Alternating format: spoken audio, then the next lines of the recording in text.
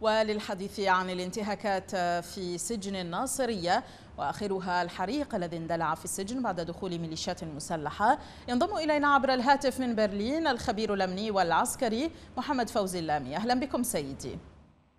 تحية طيبة لك سيدي والمشاهدين الكرام. أهلا بك. أفادت أنباء باندلاع حريق في سجن الناصرية بعد دخول ميليشيات مسلحة إلى السجن؟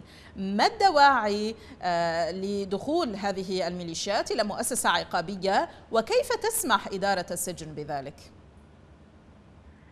يعني سيدتي الكريمة واضح جدا بأنه هذه الميليشيات منذ فترة طويلة أصبحت تتخذ هذا الإجراء كإجراء رد وإجراء عقوبي لكل من يعني يحاول الوقوف بوجهها ويحاول إنه يعني إبداء الحقيقة وغيرها. ولذلك نشاهد بأنه محافظة الناصرية لسنوات طويلة لم تشهد حوادث مثل هذه الحوادث ولكن عندما بدأت هنالك انتفاضات و وبدأت هنالك تعتلي يعني ترتفع الأصوات ضد هذه الميليشيات، بدأنا نشهد مثل هذه الحوادث حرائق في المستشفيات، حرائق في مؤسسات الدولة، حتى مؤسسات الدولة نفسها التي المختصة في العقود وغيرها وزارة الصحة تعرضت للكثير من هذه الأحداث وبالتأكيد الشارع العراقي يجمع تقريبا بأن الميليشيات هي المتورطة الأساسي في هذه في هذه الأحداث كون أن هذه الميليشيات هي التي تسيطر على هذه المناطق ولا تسمح لأحد غيرها في الدخول إلى هذه المناطق. فمن المستحيل أن يكون هنالك توجه أصابع الاتهام لجهة خارجية أو أو أو جهة أخرى من غير مكان لأنه هذه المكانات حقيقة. هذه محمية جيدة جدا. المواطن العادي غير قادر على دخولها وحتى المنتسب في الدولة العراقية غير على الدخول لها. فالميليشيات المتهم الأول سيدتي في هذا الملف. نتحدث أيضا عن هذه الانتهاكات المستمرة المرتكبة في السجون ومنها ما سجل اليوم من وفاة سجين بعد حقنه بمادة منتهية الصلاحية على غرار حالات وفاة كثيرة في الأيام الماضية.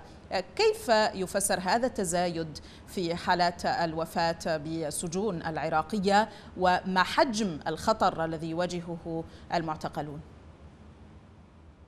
يعني سيدتي بالتاكيد مثل هذه الأعمال سواء كانت افتعال الحرائق أو أو أو أو أو استخدام أدوية يعني خارج الصلاحية وغيرها أصبحت هذه أدوات اليوم لتصفية الخصوم بالنسبة لهذه الميليشيات وبالنسبة لهذه الأحزاب المشتركة في العملية السياسية.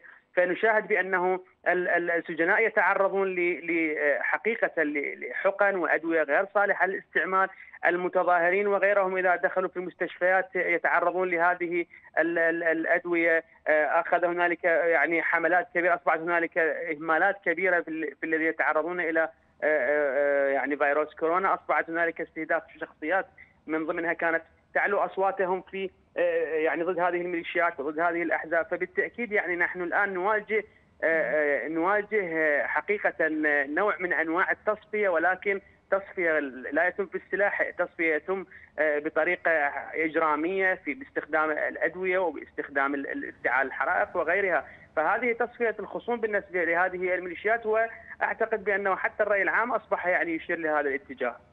ما الدور الذي تقوم به الجهات الرقابية في ظل كل هذه الانتهاكات؟ يعني سيدتي الدور الذي تقوم به هو دور إعلامي لا أكثر ويعني لا توجد هنالك حقيقة تحقيقات مهنية وتشكل هنالك لجان ونحن نحن نعرف بأن هذه اللجان منذ يعني 18 عام تشكل هذه اللجان ولا نتيجة لهذه اللجان بل تكون هذه الجهات هي يعني متواطئة ويعني بسكوتها وعدم إنشاء هنالك تحقيقات مهنية تتهرب هذه الميليشيات ونتج بأنه هذه الميليشيات دائما تفلت من العقاب وقالت الأحزاب وغيرهم يعني يفلتون من العقاب ولذلك تستمر هذه المسألة. فهذه ال ال ال الأجهزة الحكومية والسلطات التي من المفترض انه تقوم بهذا الواجب يعني متخاذلة وعلى أقل تقدير متواطئة مع هذه الميليشيات. شكرا جزيلا لكم الخبير الأمني والعسكري محمد فوزي اللامي حدثنا عبر الهاتف من العاصمة الألمانية برلين.